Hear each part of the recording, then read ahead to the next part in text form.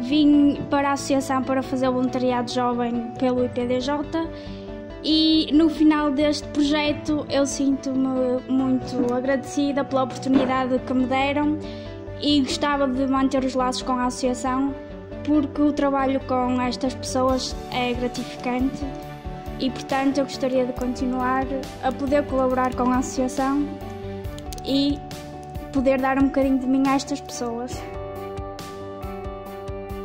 Olá, sou o Ricardo, desenvolvi dois projetos aqui na Associação Social de Silveirinhos, uh, o que me tornou um jovem mais ativo. Uh, desenvolvi várias competências, como animador sociocultural, que é o meu curso.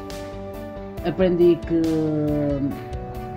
trabalhar numa associação faz com que uma pessoa ganhe mais valores, acima de tudo ser solidário, na ajuda, na cidadania e, e também que aqui nesta associação eu dei, mas também recebi muita coisa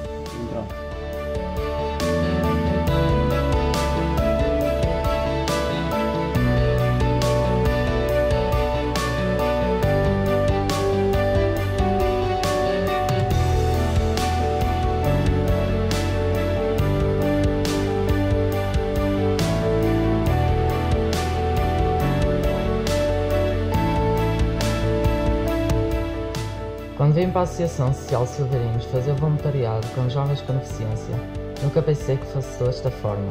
Eles são pessoas divertidas, extrovertidas, trabalhar com eles foi espetacular, ensinaram bastante coisas que eu nunca pensei que fosse aprender.